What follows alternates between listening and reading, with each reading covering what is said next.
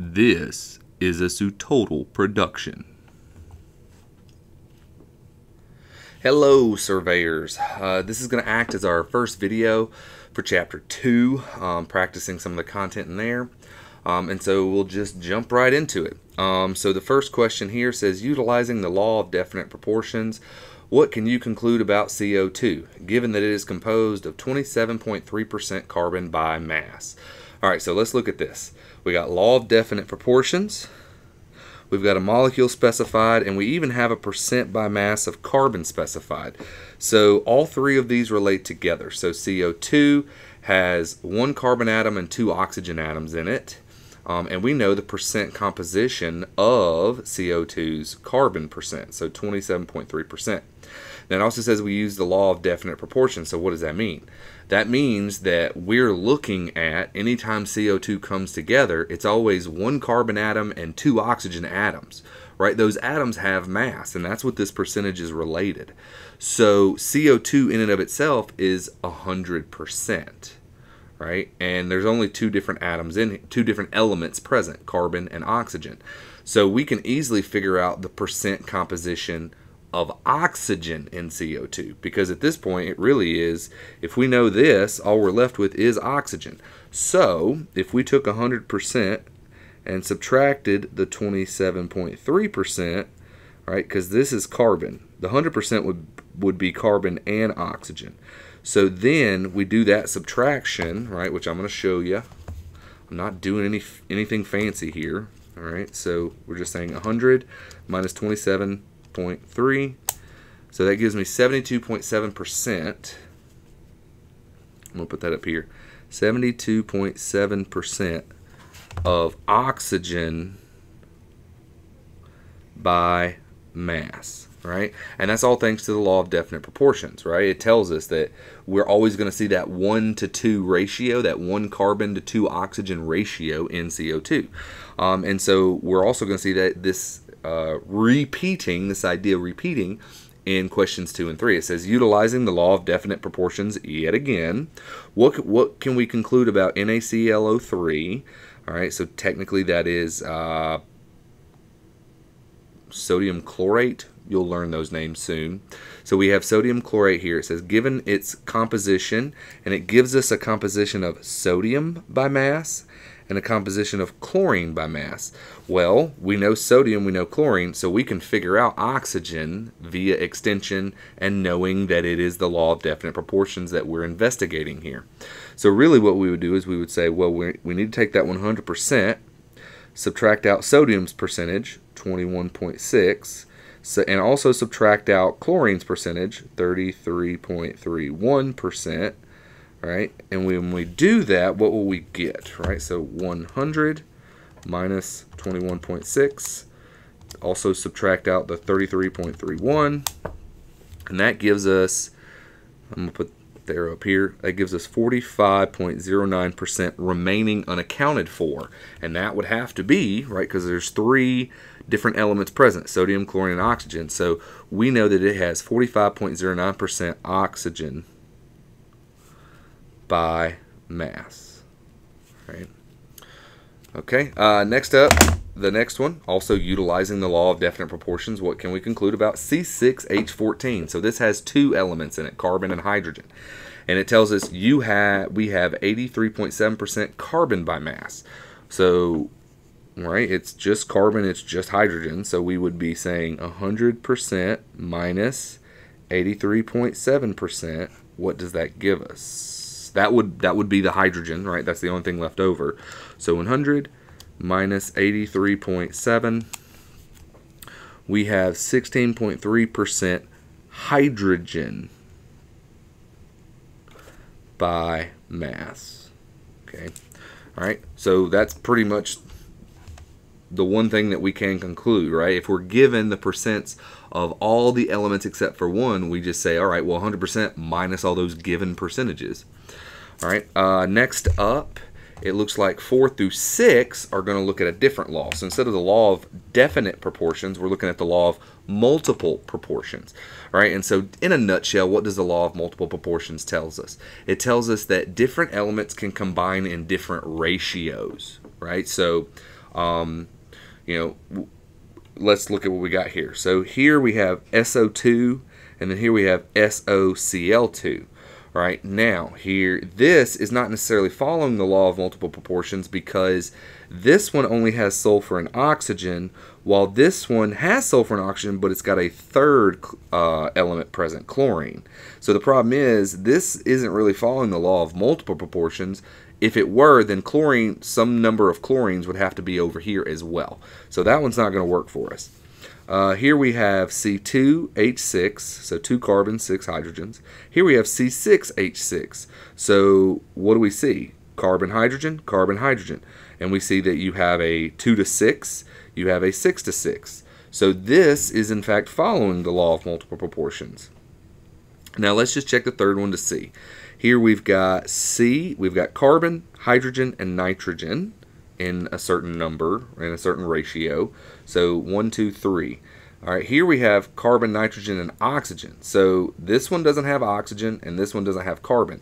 So this isn't, since it's got different elements in it, since there's not the same set of elements in all of them, then this isn't really following the law of multiple proportions.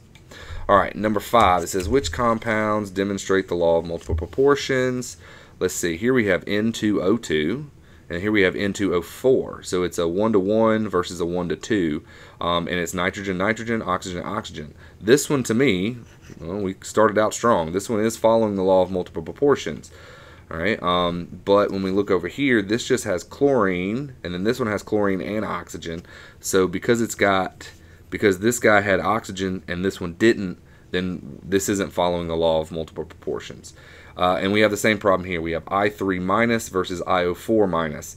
This doesn't have oxygen and this does. So there's no law of multiple proportions to even consider here. All right. Um, let's see. Uh, next up, we have NABR and NaCl. Uh, they both have sodium, but they don't both have bromine and they don't both have chlorine. So this isn't following the law of multiple proportions.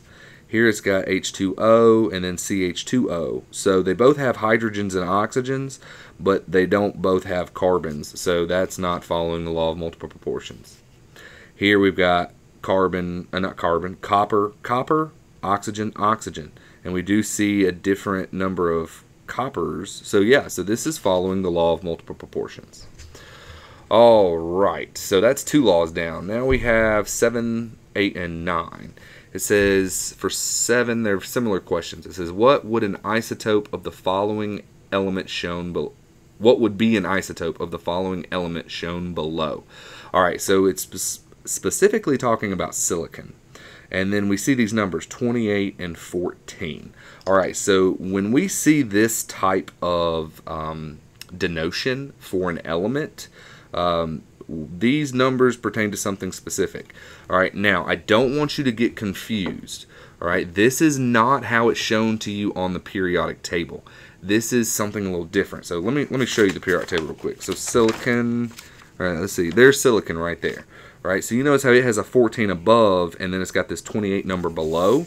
See how they're kind of they're flipped here. Okay, so be wary of that. All right, um, so on the periodic table, this number above is the atomic number, the number of protons. This number below, as a decimal number, this is what we call the weighted average or, or the, the average mass of all silicon atoms in the universe. Um, now, this in particular, you notice the 28 here had a decimal point. The 28 here does not. That's because this is one specific isotope of silicon. So we consider like all neutrons to have a mass of one, all protons to have a mass of one. And electrons are so small we don't we don't consider their mass. So this is what we call the this would more or less reflect on the mass number. Right? So that would be protons plus neutrons. And then this would be the atomic number. So that number is only the number of protons. Okay, so here's the deal. To, to, to be an isotope, it has to be silicon. Now, to be silicon, it also has to have the same number of protons. So this number has to stay the same. This bottom number, 14, the atomic number. Now, with this silicon, the mass number can change because we can actually see that different isotopes have a different number of neutrons. And so all I have to do is see this number change. So I could have something like 27 here, right? Because that's a different mass number, right? I could even have, say, silicon 29, 14, right? And depending on how crazy it gets, right? I don't know that we would want to see something like this, but, you know, since you don't really know specific isotopes, right, we could go crazy, right? This number could be 40. It could have a mass of 40. Meaning, in that number 40, this is 14 protons, right? And then the number of neutrons, let's see, what's 40? Uh, I'm not really doing great with math today, so it's 40 minus 14. So that means there's 26 neutrons right? That's what that 40 means right there. That's crazy, right? So, anyway, um, but these are pretty much three um, isotopes of the silicon atom given below right here. Okay. Next up, it wants us to do another isotope of calcium. All right. And so remember, same same rules over here apply. This is the atomic number, right? Or AKA the number of protons. This number is the mass number, right? That's the number of protons plus neutrons, right? So if I'm going to do an isotope of calcium, it has to have the symbol Ca and it has to have this number 20 here because it has to have 20 protons to even be calcium. Okay, now from there, this 41 number could change, right? It could be 40, you know, it could be 39, right? It could even be, um, you know, 45, right? I'm just giving you a whole bunch of scenarios here, right? The, but because this number can change, you get quite a lot of options here, okay? Um, now, I'm not asking for like what's the real isotope. I'm just asking you to speculate at what you could change here, and that's what I'm trying to show you. All right, and then our last isotope question here. Oh, we're using something radioactive. So these guys down here tend to be very radioactive. Europium. All right, so um, here, remember yet again, that's the mass number. So that's the number that can change. And then this is the atomic number, aka the number that cannot change. So we're looking at, you know, something that's always got to have the 63 and the EU but then this 152 could change, right? It could be 165, right? It could be 142, right? Now, the one thing I haven't really talked about is there there is a certain realm in which these numbers can only go down so low, right? You cannot get so the so for, for like this guy right here, you cannot get 62 right? Because that's saying the total mass is 62, but it, yet it has 63 protons, right? So that is one limitation. So that's not a keeper, okay? So this number up here cannot go below this number, right? And be any way close to possible, right? Because you're you're how are you going to have 63 protons, but your mass is less than the mass of 63 protons? That ain't gonna happen, bruh. All right. So anyway, with that, um, this kind of concludes our first practice. Um, stay tuned for more Chapter 2 goodness. Adios.